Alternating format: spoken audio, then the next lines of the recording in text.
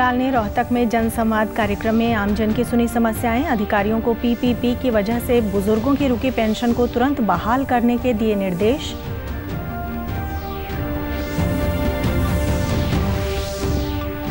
प्राकृतिक खेती को बढ़ावा देने के लिए गुरुकुल कुरुक्षेत्र में दो दिवसीय कार्यक्रम का किया गया आयोजन। केंद्रीय कृषि राज्य मंत्री कैलाश चौधरी ने कहा, प्राकृतिक खेती समय की मांग।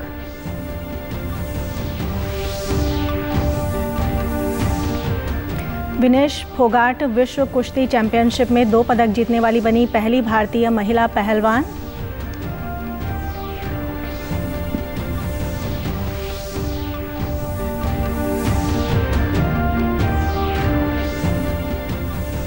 और आज दूरदर्शन के स्थापना दिवस पर केंद्रीय सूचना एवं प्रसारण मंत्री ने देशवासियों को दी शुभकामनाएँ। कहा, दूरदर्शन ने भारत की बदलती हुई अनवरत यात्रा को किया अभिव्यक्त। नमस्कार। मैं ऋतु कौशिक, अब समाचार विस्तार से। मुख्यमंत्री मनोहर लाल ने आज रोहतक में जन संवाद कार्यक्रम में लोगों की समस्याएँ सुनी और अधिकारियों को बुज़ुर्गों की पेंशन संबंधी समस्याओं का तुरंत समाधान करने के निर्देश दिए। मुख्यमंत्री ने कहा कि प्रदेश सरकार पंक्ति में खड़े अंतिम व्यक्ति को सरकारी योजनाओं का लाभ व सुविधा पहुँचाने के लिए प्रतिबद्ध है और इसलिए परिवार पहचान पत्र की शुरुआत की गई है। मुख्यमंत्री ने कहा कि केवल उन्हीं व्यक्तियों को पेंशन देना बंद किया गया है जो इसके पात्र नहीं हैं। मुख्यमंत्री ने कहा कि जिन लोगों की पेंशन पीपीपी वेरिफिकेशन के कारण रुक गई है, उसे तत्काल प्रभाव से बहाल किया जाएगा और पिछली पेंशन की अदायगी भी की जाए। तो पेंशन कुछ बहनों को जा रही थी, लेकिन उनके बारे में पता लगा कि कभी विडो हुई। विडो होने के बाद रीमैरिज हो गई। तो रीमैरिज होने के बाद वो पेंशन नहीं मिलती है, उनकी पेंशन फिर भी जा रही थी। इसलिए उनको भी कटवाया है। कहीं कहीं इनकम के आधार पर और पेंशन काटी गई थी, जिनकी यानी एक व्यवधान एक प्रावधान है कि दो लाख रुपया पति पत्नी की अगर जो साठ वर्ष से ऊपर हो जाते हैं, उनकी पत्नी, पति पति पत्नी की इनकम दो लाख रुपया इससे अधिक है तो उनको पेंशन नहीं लेनी चाहिए।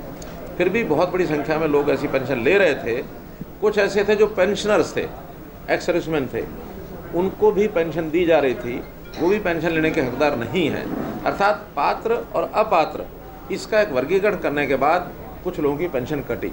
ये जो शोर मचाया जा रहा है, इतनी कट गई, इतनी कट गई, दो लाख सत्तर हज़ार पेंशन तो साल भर में जिनकी स्वाभाविक मृत्यु हुई है, उनकी पेंशन साथ साथ कटती है। जैसे ही किसी की डेथ होती है और परिवार पहचान पर, में रजिस्टर हो जाता है तो उसकी पेंशन पहले तो बैंक में जाती रहती थी, कई महीने तक बैंक में जाती थी, डिस्बर्समेंट नहीं होती थी या डिस्पर्समेंट में भी फर्जी मामला जो होता था कि उसके कार्ड किस को लेकर के और कोई भी व्यक्ति उसका पिन डाल के और निकाल लेता था, या बैंक खातों से भी वो निकलती रहती थी, वो अब तुरंत बंद होती है क्योंकि रियल टाइम पर डेथ और बर्थ ये रजिस्टर होता है। प्राकृतिक खेती को बढ़ावा देने के लिए गुरुकुल कुरुक्षेत्र में दो दिवसीय कार्यक्रम का आयोजन किया जा रहा है। इस कार्यक्रम में केंद्रीय कृषि राज्य मंत्री कैलाश चौधरी ने विशेष रूप से शिरकत की। उन्होंने कहा कि प्राकृतिक खेती समय की मांग है और प्राकृतिक खेती करने से किसान खुशहाल और आत्मनिर्भर होंगे। खेती करने में कितना डिफरेंस है?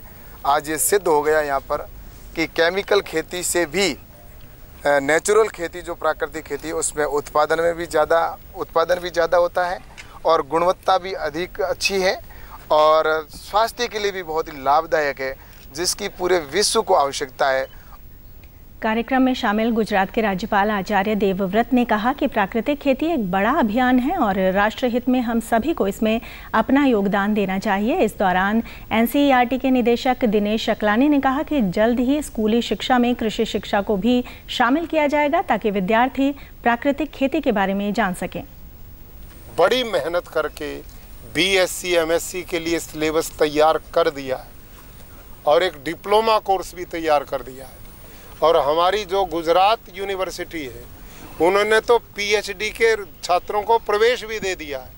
तो इतना बड़ा एक अभियान है तो इसमें मेरा नम्र निवेदन है कि हम सब राष्ट्र हित में, किसान हित में, लोक कल्याण में अपनी सब अहंकारों को भूलकर सारे के सारे मिशनरी बन करके प्रधानमंत्री जी की भावना का हृदय से सम्मान करते हुए प्राकृतिक कृषि को देश में बढ़ाएँ। तो हम ये चाहते हैं कि ऊपर की शिक्षा का तो बहुत कम परसेंट है। दो प्रतिशत दो प्रतिशत भी उच्च शिक्षा में नहीं पहुँचते हैं। और कृषि शिक्षा तो मेरी समझ से पॉइंट वन टू परसेंट के करीब है। मैं ये चाहता हूँ कि जो स्कूली शिक्षा तीस करोड़ बच्चे भारत के स्कूली शिक्षा में है इस समय। तीस करोड़ तीस करोड़।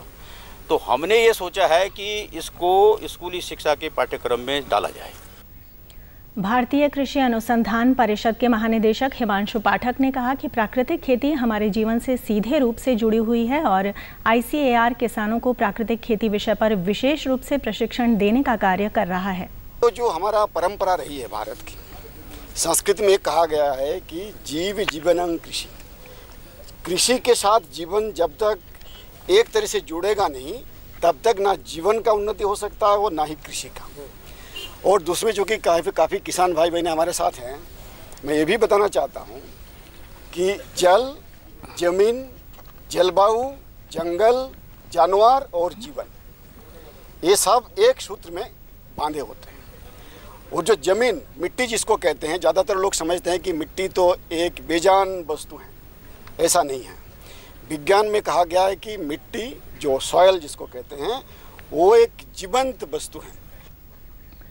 17 सितंबर से 1 अक्टूबर तक देश भर में स्वैच्छिक रक्तदान शिविर लगाए जाएँगे। केंद्रीय स्वास्थ्य मंत्रालय द्वारा रक्तदान अमृत महोत्सव के नाम से इस अभियान की शुरुआत की जाएगी और इसका उद्देश्य लोगों में रक्तदान के प्रति जागरूकता पैदा करना है। रक्तदान के लिए ई रक्तकोष पोर्टल को भी लॉन्च किया गया है। लोग पोर्टल के अलावा आरोग्य सेतु ऐप पर भी रक्तदाता के रूप में पंजीकरण करवा सकते हैं ताकि ज़रूरत पड़ने पर रक्तदान कर सकें। किसी भी ज़रूरतमंद व्यक्ति को रक्त की कमी ना हो, इसके लिए स्वैच्छिक रक्तदाता का एक डाटा तैयार किया जा रहा है, जो कि ई रक्तकोष पोर्टल के अलावा आरोग्य सेतु ऐप पर भी उपलब्ध होगा। विनेश फोगाट विश्व कुश्ती चैंपियनशिप में दो पदक जीतने वाली पहली भारतीय महिला पहलवान बन गई हैं। विनेश फोगाट ने कल सर्बिया के बेलग्राद में तिरपन किलोग्राम वर्ग में कांस्य पदक जीतने के बाद ये उपलब्धि हासिल की। इस वर्ष राष्ट्रमंडल खेल की स्वर्ण पदक विजेता विनेश ने मौजूदा यूरोपियन चैंपियन स्वीडन की इम्मा मामग्रेन को पराजित किया। विनेश ने क्वालिफिकेशन दौर में अपने पराजय के बाद शानदार वापसी की। आज दूरदर्शन का स्थापना दिवस है। 15 सितंबर उन्नीस को तत्कालीन राष्ट्रपति राजेंद्र प्रसाद ने भारत के सार्वजनिक सेवा प्रसारक दूरदर्शन को शुरू किया। उस दौरान दूरदर्शन सप्ताह में दो बार सामाजिक शिक्षा कार्यक्रमों का प्रसारण करता था और 1965 में इसे एक सेवा का रूप दे दिया गया। कृषि प्रधान देश होने के कारण किसानों से संबंधित कार्यक्रम कृषि दर्शन का 26 जनवरी उन्नीस सौ सड़सठ को प्रसारण आरंभ हुआ। ये डीडी पर प्रसारित होने वाला पहला कार्यक्रम था। उन्नीस सौ बयासी में रंगीन टेलीविज़न आने के बाद लोगों का रुझान दूरदर्शन की ओर अधिक बढ़ गया। हम लोग बुनियाद, नुक्कड़, रामायण, महाभारत जैसे कार्यक्रमों ने दूरदर्शन की लोकप्रियता को आसमान की ऊंचाइयों तक पहुँचाया। केंद्रीय सूचना एवं प्रसारण मंत्री अनुराग सिंह ठाकुर ने दूरदर्शन के स्थापना दिवस पर देशवासियों को शुभकामनाएँ देते हुए कहा कि दूरदर्शन का स्थापना दिवस एक महत्वपूर्ण अवसर है। दशकों से दूरदर्शन ने भारत की बदलती हुई अनवरत यात्रा को अभिव्यक्त किया है और दूरदर्शन का अभिलेखागार हमारे समृद्ध इतिहास का खजाना है। अम्बाला छावनी के नागरिक अस्पताल में कोरोना संक्रमण से बचाव के लिए टीकाकरण शिविर लगाया गया। अम्बाला छावनी सिविल अस्पताल में नोडल अधिकारी डॉक्टर चित्रा शर्मा ने बताया कि प्रदेश में लंबे समय से सफलतापूर्वक कोविड टीकाकरण अभियान चलाया जा रहा है और प्रदेशवासी इसका लाभ ले रहे हैं। उन्होंने कहा कि स्वास्थ्य विभाग द्वारा लोगों को बूस्टर डोज लगवाने के लिए जागरूक और प्रोत्साहित किया जा रहा है। अच्छी तरह से बहुत सबके प्रयासों से बहुत बढ़िया चल रहा है। और जैसे कि सब जानते हैं कि देश में 215 करोड़ से ज़्यादा इंजेक्शन लग चुके हैं। अब ये कार्यक्रम अभी भी हमारे हॉस्पिटल में 313 नंबर कमरा आईपीडी ब्लॉक में चल रहा है और जिन जिन लोगों से के भी रह गए हैं, जिनको चाहे बच्चे हैं, बुज़ुर्ग हैं, जिनकी बूस्टर डोज रह गई है या जिन्होंने बिल्कुल भी कोई इम्यूनाइजेशन नहीं ली है, वो जब मर्ज़ी आकर अपना टीकाकरण यहाँ सफलतापूर्वक ले सकते हैं। बूस्टर डोज लगवाने आए नागरिकों ने कहा कि कोरोना से बचाव के लिए टीका लगवाना बेहद ज़रूरी है और लोगों को टीकाकरण करवाकर खुद को और अन्य लोगों को सुरक्षित करना चाहिए। बूस्टर डोज लगाने आया हूँ। आप सबसे अपील है कि आप सब कोरोना से फाइट के लिए बूस्टर डोज लगवाएँ। आपका सहभागियत धन्यवाद होगा। मैं तो ये पिछली बार मेरे को जब कोविड हुआ था, बहुत दिक्कत पड़ गया था। तो आपको भी ऐसा ना हो, इसलिए अपने मिसेज से लगाया हूँ। और बच्चे छोटे बच्चे अंदर छोटे हैं, इसलिए उनको पालन कर देंगे जब एज हो जाएगा। और अपने मिसेज सब लगवाने के लिए छुट्टियों में यही तीसरी डोज जो डोज लगाने के लिए अपील करेंगे। हमारा जो महामारी का जो कोरोना का है वायरस में ये बहुत खतरनाक है, और तीसरा डोज लगाना हर इंसान को ये अपना अपना ज़िम्मेदारी है। सभी को लगवाना चाहिए। अच्छी बात है। कोरोना वायरस से दूर रहना चाहिए। आज इंजीनियर्स डे है। प्रधानमंत्री नरेंद्र मोदी ने इंजीनियर्स दिवस के शुभकामनाएँ देते हुए कहा कि हमारा देश धन्य है कि हमारे पास कुशल और प्रतिभाशाली इंजीनियर हैं, जो राष्ट्र निर्माण में योगदान दे रहे हैं। उन्होंने कहा कि हमारी सरकार नए इंजीनियरिंग कॉलेजों के निर्माण सहित इंजीनियरिंग की पढ़ाई के लिए बुनियादी ढांचे को बढ़ाने के लिए काम कर रही है। देश के पिछड़े जिलों की सूची में शामिल प्रदेश के नूह ज़िले की दशा व दिशा बदलने के लिए केंद्र और राज्य सरकार मिलकर प्रयास कर रही हैं। नीति आयोग की सूची में शामिल जिलों में नूह जिला 22वें स्थान पर है। उपायुक्त अजय कुमार ने कहा कि कृषि बागवानी और जल संसाधनों के क्षेत्र में सभी विभागों के संयुक्त प्रयासों से ज़िले की रैंकिंग में लगातार सुधार हो रहा है। हेल्थ एंड न्यूट्रिशन थीम का पार्ट है। एंड इसमें ग्यारह सौ पचास आंगनवाड़ी केंद्रों के माध्यम से सप्लीमेंट्री न्यूट्रिशन प्रोग्राम के अंतर्गत सूखा राशन और पका राशन जो है लाभार्थियों को जो हमारी प्रेग्नेंट एंड लैक्टेटिंग मदर्स हैं और छोटे बच्चे हैं उनको दिया जा रहा है। जिला परियोजना अधिकारी ने कहा कि महिला एवं बाल विकास विभाग द्वारा महिलाओं और बच्चों के स्वास्थ्य में सुधार के भी लगातार प्रयास जारी हैं। यहाँ जो मिशन है 2018 में झुंझुनू ज़िले से शुरू किया गया था हमारे प्रधानमंत्री मोदी जी द्वारा।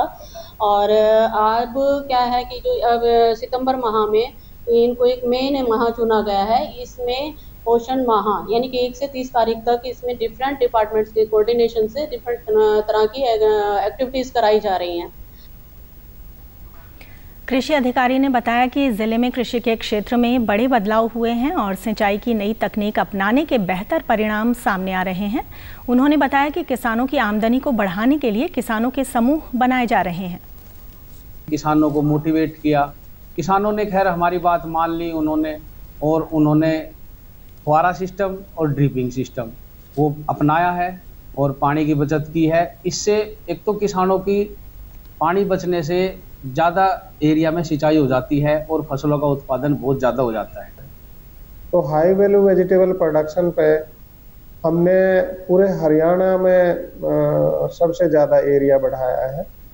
अगर ओवरऑल हम स्टेट के एरिया की बात करते हैं तो 6.7 परसेंट एरिया हरियाणा में वेजिटेबल और बागवानी के अंदर है। लेकिन हमारे ज़िले में ये एरिया 12.5 समथिंग के करीब हमने किया हुआ है। किसानों ने कहा कि खेती की नई तकनीक अपनाने से वे खुशहाल हुए हैं। और सभी किसान मतलब ये चाहते भी हैं बाग लगवाने की कोशिश भी करते हैं और इन वो लगवाएँगे भी। और हम बहुत बड़े खुशकिस्मत हैं जी कि बागबानी का जो प्रोग्राम है वो हमारे गाँव से हम, हमारे घर से शुरू हुआ है। हम अपने आप को भाग्यशाली समझते हैं कि ये ज़िले का जो बाग लगाओ अभियान हमारे गाँव से शुरू हुआ है आज और वो भी दस मुहर्रम के मौके पर और खुद उपायुक्त महोदय हमारे गाँव में आए। हमें पूरी उम्मीद है कि इस बागवानी से हमारी, हम किसानों की आमद कई गुना फालतू हो जाएगी। मुख्यमंत्री मनोहर लाल ने कल चंडीगढ़ में सतत विकास के संबंध में आयोजित बैठक की अध्यक्षता की। बैठक में मुख्यमंत्री ने अधिकारियों को सभी विभाग रैंकिंग में सुधार करने के लिए मापदंडों के अनुसार कार्य करने के निर्देश दिए ताकि सतत विकास लक्ष्य हरियाणा 2030 को हासिल किया जा सके। उन्होंने कहा कि प्रत्येक ज़िले में उपायुक्तों के साथ प्रशासनिक अधिकारियों की भी तैनाती की जाए, जो हर माह सतत विकास के लक्ष्य की समीक्षा करें और उसकी रिपोर्ट सरकार को भेजें। मुख्यमंत्री ने कहा कि हरियाणा देश का पहला राज्य है जिसने सतत विकास लक्ष्य को हासिल करने के लिए जिला स्तर पर क्रम सूची तैयार की है। इसमें सभी जिलों का प्रदर्शन के आधार पर आकलन किया जा रहा है। अंत में इस बुलेटिन के मुख्य समाचार, एक बार फिर। मुख्यमंत्री मनोहर लाल ने रोहतक में जनसंवाद कार्यक्रम में आमजन की सुनी समस्याएँ। अधिकारियों को पीपीपी की वजह से बुज़ुर्गों की रुकी पेंशन को तुरंत बहाल करने के दिए निर्देश।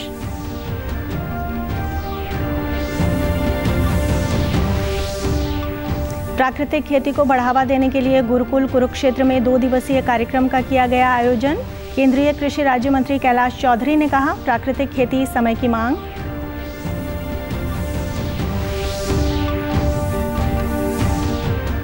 विनेश फोगाट विश्व कुश्ती चैंपियनशिप में दो पदक जीतने वाली बनी पहली भारतीय महिला पहलवान।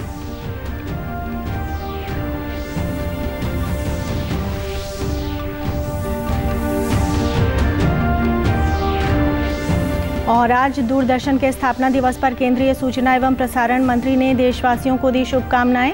कहा, दूरदर्शन ने भारत की बदलती हुई अनवरत यात्रा को किया अभिव्यक्त। समाचारों में आज इतना ही। नमस्कार।